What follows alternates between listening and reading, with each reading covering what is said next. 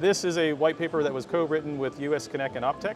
Uh, it shows Optec's ability to do their new flex circuit shuffle technology. It's an automated fiber shuffle that allows for easier installation into, into designs like co-packaging optics.